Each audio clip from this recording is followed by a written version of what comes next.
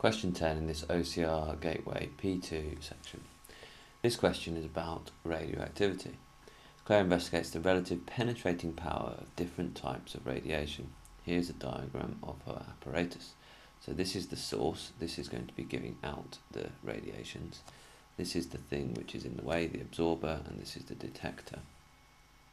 So penetration is all about, well, can this, whatever's coming out of here, get through this to the detector. Now keep in mind when you answer this question, source, absorber, detector. Mention those three things in your answer.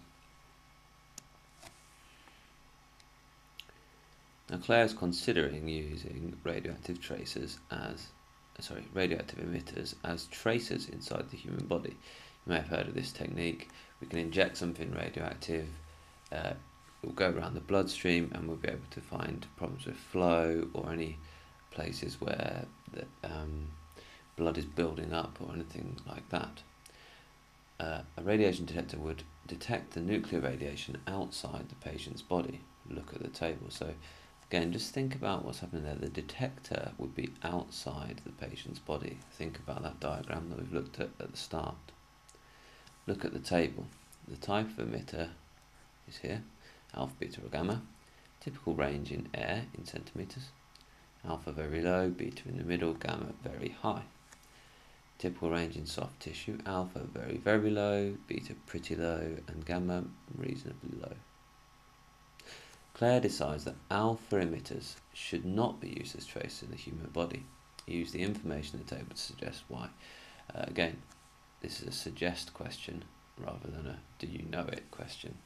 So think of some ideas we don't really need to be looking at anything really to do with the beta or the gamma except in a kind of comparative sense. So have a little go, suggest why, think back to what I said. I said use the sections of that diagram and make two points.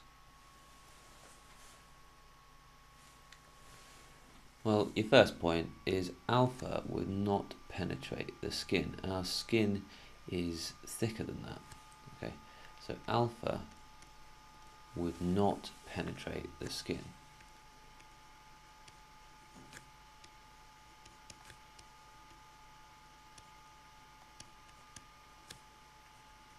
Now why does that matter?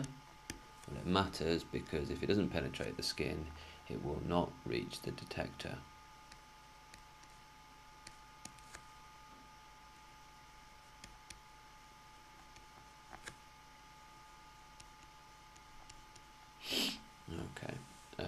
If you just said that, one mark. If you just said that, one mark.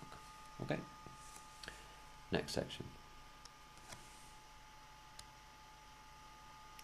Claire uses a very small amount of a radioactive material for investigation.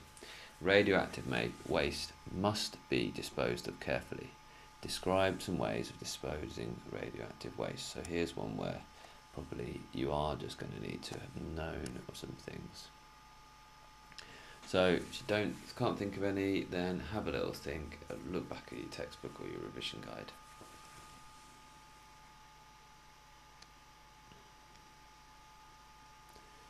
Alright, there are kind of four possible answers. Any two of these will be okay. Your first possible one is actually low level waste. You must say that. Can go into landfill.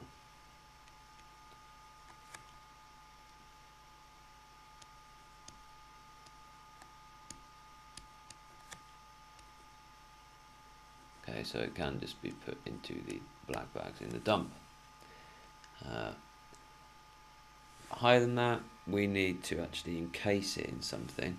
So waste, waste can be encased. Usually in glass or sometimes concrete and left on the ground. So radioactive waste is usually buried very deeply underground. Uh, waste can be reprocessed to be less harmful.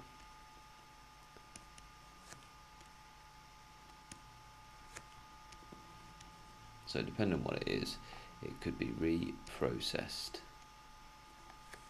to be less harmful.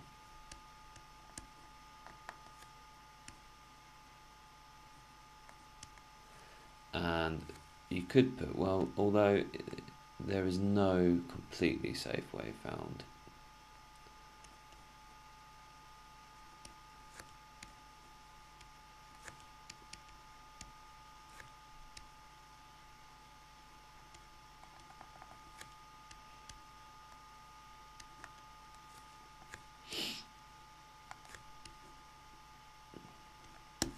Alright, only two of those for two marks.